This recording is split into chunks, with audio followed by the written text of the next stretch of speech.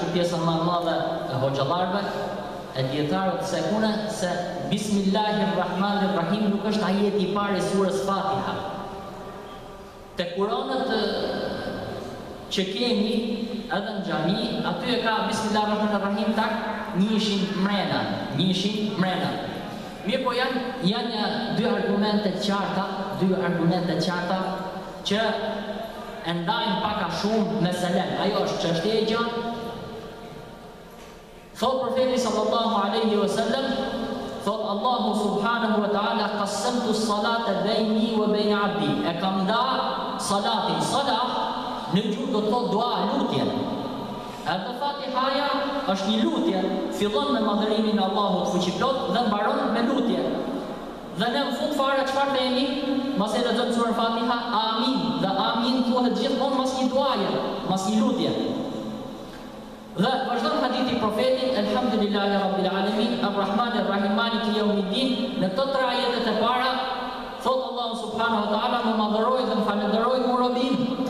Pastaj, Iyake na'budu wa iyake nesta'in, Ajeti i katërt është ajeti i medisëm, pra, tre ajete që madhërohet Allahu Subhanehu Ve Teala, ajeti i katërt ajeti i medisëm dhe vijnë tre ajete të tjera, të cilat,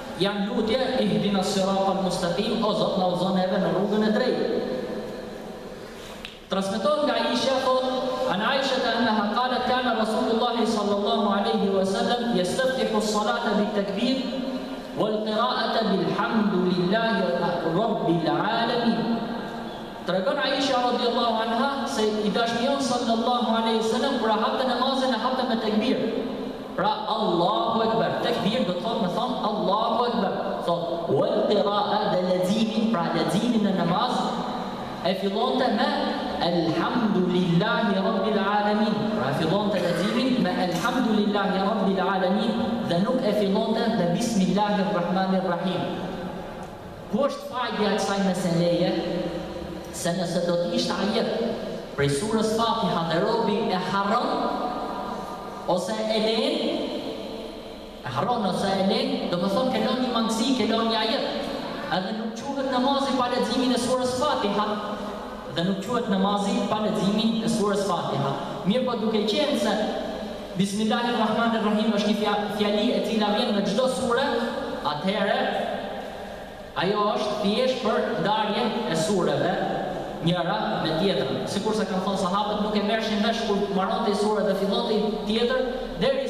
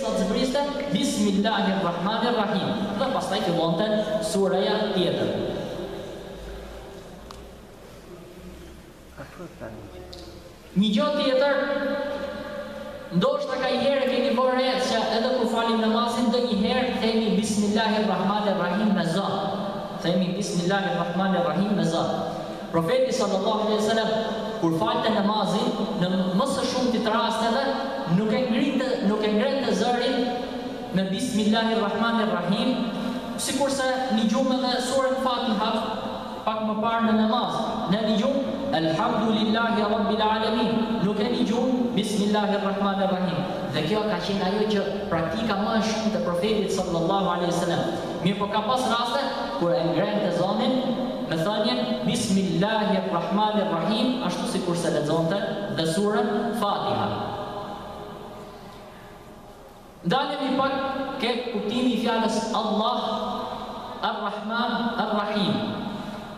Bismi me emrin dhe pas saj vijnë tre emra nga emrat e Allahut Subhanehu wa Ta'ala, emri Allah Ar-Rahman Ar-Rahim. Ar-Rahman Ar-Rahim. Allah është emër i përveçëm. As nuk vjen në formë dyshës, as në shumës. Është emër i përveçëm i Allahut subhanehu wa ta'ala, i madhnisë tij. Dhe kjo i ka bo shumë dijetarë që të thonë që emri më i madh i Allahut subhanehu wa ta'ala është Allah. Emri më i madh është Allah. Ka dhe gjo tjetër. Subhanallah. Po ta shohim edhe fjala La ilahe illa Allah, domethënë kjo shprehje, shprehja e Teuhidit, Subhanallah përbëhet nga të nga të treja gërmat që përbëhet emri Allah, Elifi, Lami dhe H-ja. Elifi, Lami dhe H-ja. Dhe Prandaj, çfarë domethënë nga ka ardhur si si term se zakonisht gjuha arabe emrat i ka që vijnë rrjedhin nga një diçka. Një pjesë e madhe e dijetarëve kanë thënë që fjala Allah vjen domethënë nga Yaghrumi. Thonë vjen nga Ilah, Yaghrumi, atij që i mbështetet robi për çdo çështje. Për gjithçka i mbështetet kujt vetëm Allahut fuqiplotë.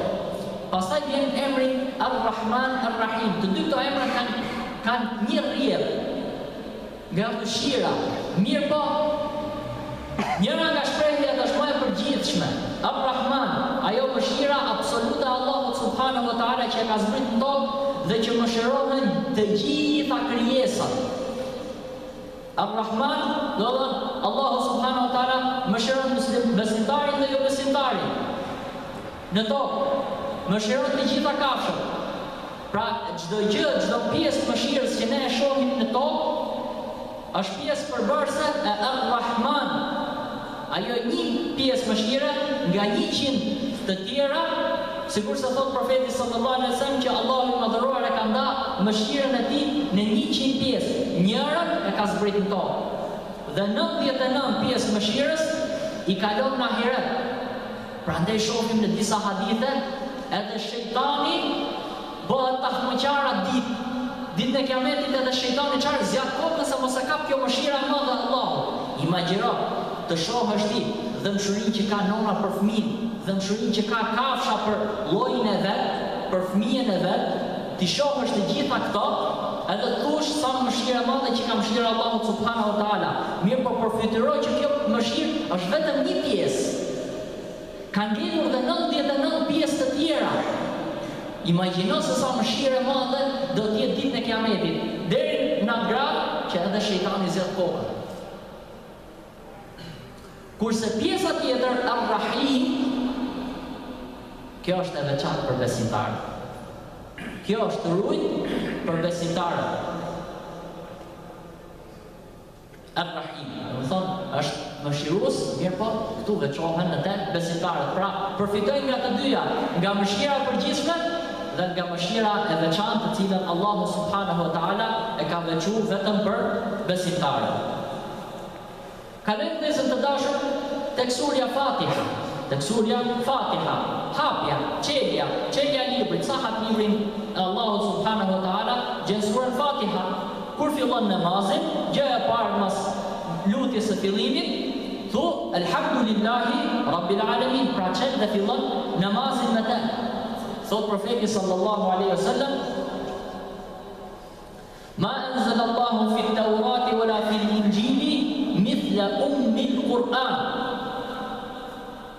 E transmeton Tirmidhiu, pra thotë Profeti sallallahu alejhi ve sellem, Nuk është zbritur në Teurat dhe në Inxhil ndonjë sure, ndonjë fjalë nga fjalët e Allahut sikurse është surja Fatiha, Ummul Kur'an quhet, dhe do e shpjegojmë edhe pak më mbrapa se çfarë do të thotë Ummul Kur'an. Pra nuk ka zbrit sure më e madhe se kjo. Dhe në një hadith tjetër, Profeti sallallahu alejhi ve selem i thotë një sahabiu, Kur të dalim nga xhamia, do të mësoj një sure e cila është surja më e madhe në Kur'an. Dhe e kap për dore këtë sahabiun dhe kur dalim, Thotë ky sahabiu i dërgumi i Allahut, sikur më the që do mësojshe një sure, është surja më e madhe e Kur'anit, i thotë Profeti sallallahu alejhi ve selem, po thotë, Fatihatul kitab, surja Fatiha. Pra surja më e madhe në Kur'an. Një ditë prej ditësh ishte Xhebraili duke qëndruar me Profetin sal-lal-lahu alejhi ue sel-lem, dhe hapet një derë nga dyert e qiellit dhe zbresin disa melajke duke mbartur me vete,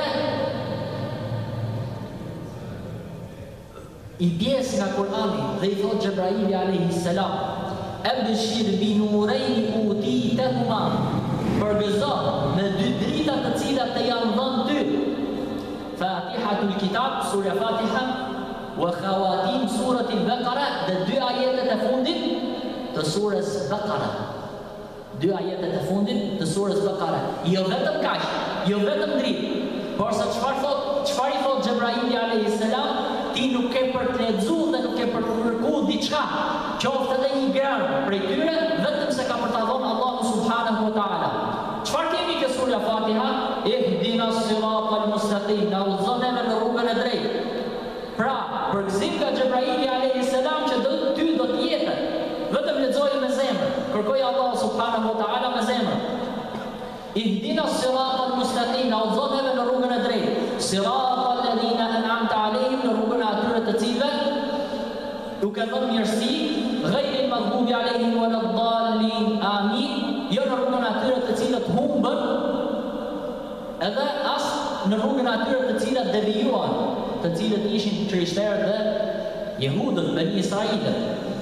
Kur të vijmë nga fundi i Surës Fatiha do të ndalohem në, do të ndalemi më shumë në këtë pikë se ku ishte humbja dhe devijimi i tyre dhe çfarë kemi ke fundi i Surës Bekarah,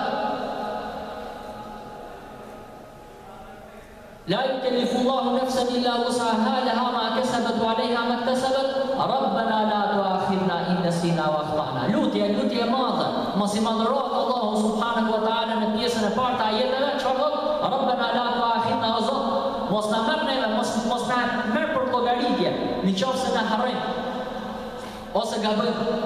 E kështu deri në fundin e Sures Bakare që vjen me lutje, me dua. Çfarë thotë Xhebraili? Nuk ke për t'i lexu këto, nuk ke për t'i kërku Allahut subhanehu ve teala vetëm se ka për ta dhënë. Pra, ajete të mëdhoja.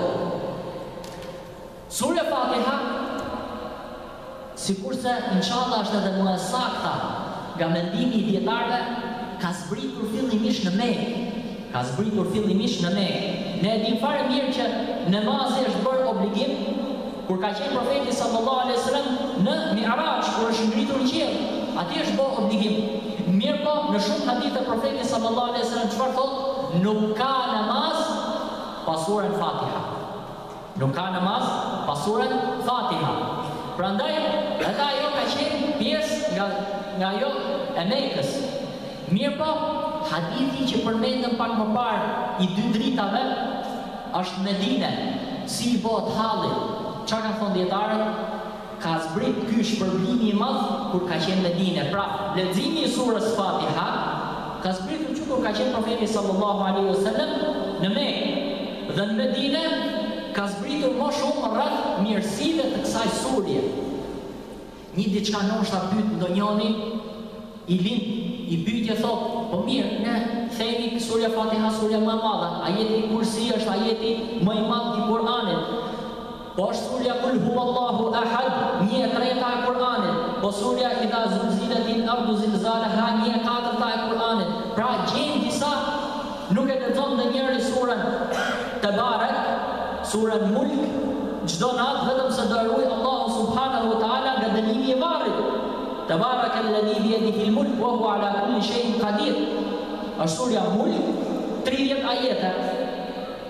Si i bohet halli? Allahu subhanehu ve teala Kurani është njësoj se është fjala e Allahut subhanehu ve teala. Nuk është një fjalë më e mirë se një fjalë tjetër. Mirëpo Allahu subhanehu ve teala ka zbrit prej shpërblimit dhe kuptimeve të mëdhaja në një sure çfa çka ndoshta nuk mund të gjendet në një sure tjetër dhe në suren Fatiha ka përmbledhur shumë gjona, ka përmbledhur madhërimin, ka përmbledhur besimin e pastër, mbështetjen totale tek Allahu subhanehu ve teala dhe një lutje të madhe që e bëjnë besimtarët që Allahu subhanehu ve teala t'i rujë dhe t'i drejtojë në rrugën e drejtë. Në suren Kul huwallahu ehad kemi në Kur'an kemi. Njehsim të Allahut, po kemi dhe ligje, dispozita, çfarë bohet kur vret, çfarë bohet si ndahet trashëgimia, po çfarë kemi obligim, ca gjona çfarë kemi hallall, ku si duhet me me qenë çështja e therjes, që duhet me thonë bismillah, Pra ka zbritur rregulla, ka zbritur dhe përkujtim.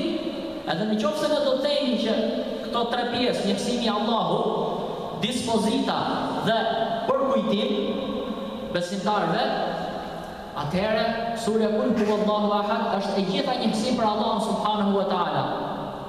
Pra i bie një e treta e Kur'anit.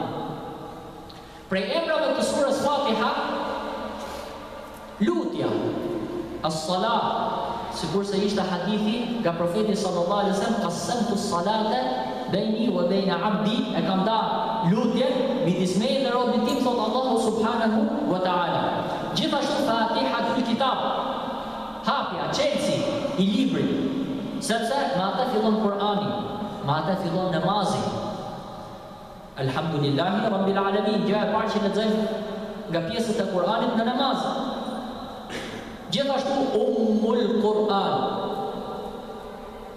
Në gjuhën arabe në qoftë se është një diçka që është më e rëndësishme, më përparësore se diçka tjetër i thon um, nana. Dhe quhet Mekja quhet Ummul Kura, nana e vendeve. e vendbanimeve. Pse? Sepse thuhet se aty është bashku Ademi me Havanë. Aty është ndërtu shpija e parë shpija e parë në tokë. Se thuhet se Qabën e ka ndërtu fillimisht melajket, po pastaj thohet që e ka ndërtu Themelet e tyne i kanë vu themelet melaiket e ka ndërtu Ademi alejhi selam, erdhi Ibrahimi alejhi selam gërmoi dhe gjeti themelet dhe e rindërtoi përsëri në formën që ne e shikojm tani bashk me ate rrethi Ibrahimi me Ismailin alejhi selam. Pra edhe e gjejmë ke surja Fatiha thot Ummul Kur'an do më thonë ajo qe si ajo më e madhja sikur se na kaloi surja më e madhe e Kur'anit mirëpo quhet edhe shërusja ose Ruqja Ruqja është kur robi i lexon diçka për shërim të ndonjërit. Është tani në këtë kohë përdoret shumë fjala ruqje. Po nga ka ardh kët gjo neve?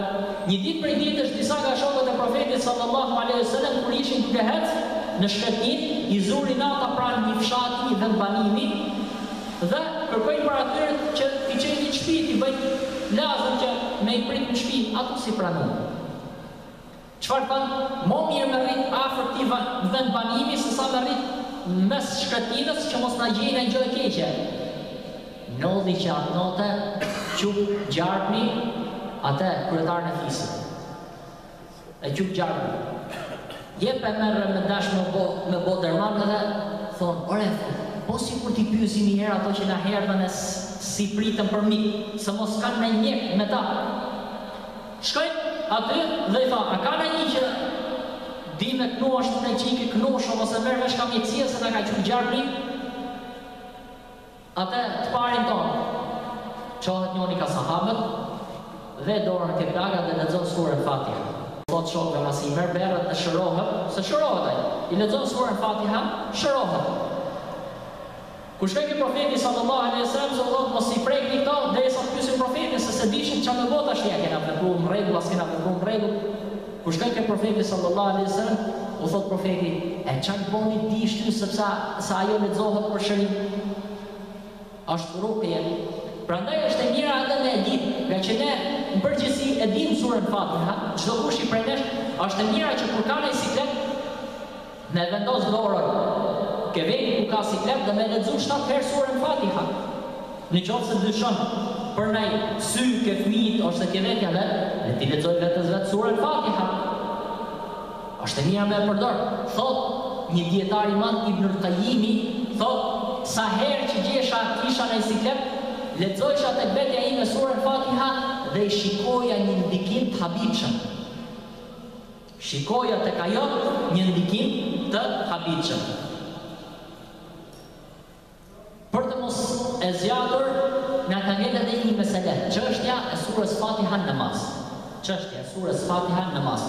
Se thamë, nuk është puna thjesht me shpjegu ça kuptimi i kanë ajetet, por se me marrë edhe dispozitat çfarë ka lidhje me çështjet e fesë tek këto që ne shpjegojmë nga Kur'ani famëlartë. Për sa i përket Surës Fatiha në nemaz kemi dy kategori njerëzish. Ose je individ që je duke u fal vetëm në shpi tate ose në xhami, je duke fal synetet, je duke u fal vetë me veten tate. Ose je xhemat, je duke u fal mas një imami. Duhet me pas parasysh se leximi i Sures Fatiha është i detyrushëm në namaz, La salate li men lem jekra bi fatihatil kitab, nuk ka namaz për atë që nuk lexon Suren Fatiha. Harresa është punë tjetër, mundohu që mos harrosh, porse është pjesë e namazit, po nuk e lexove, po e le Suren Fatiha, dole pa namaz.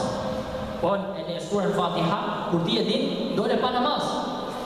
Kur thamë kur je vetëm duke u fal i vetëm në shpi tate synetet në xhami çdo gjë që je duke u fal vetëm ama kur je me xhamat kur je duke u fal me imamin mundohu ta lexosh ka shumë diskutime dikushi prej dijetarëve ka thon prit Dikushi prej dikushi prej dijetarëve thotë, ai që s'e lexo s'ka namaz, duhet ta lexosh ashtu ashtu sikurse je vete.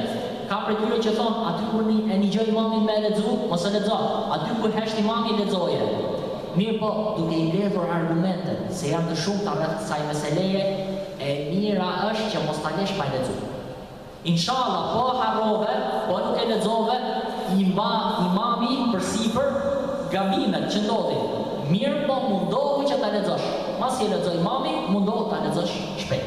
E mbaroi imami suren Fatiha, atëherë mundohu dhe ti ta lexosh, sepse hadithet janë të shumta rreth kësaj çështje, mirëpo është veçu tek disa hadithe surja Fatiha në veçanti. Jo me lexu gjo tjetër. Sure tjetër plus poshtë sures fatiha e mira është që me i vu men e mira është që me i vu men kjo është ajo që është paksa si më e përgjithshmja edhe inshallah i largohet besimtari çdo lloj dyshimi pra kur je vetëm e ke detyrushme me fal dole pa namaz në qoftë se ti nuk e lexon suren fatiha amo kur je me imamin munohu ta lexosh munohu mos ta harrosh.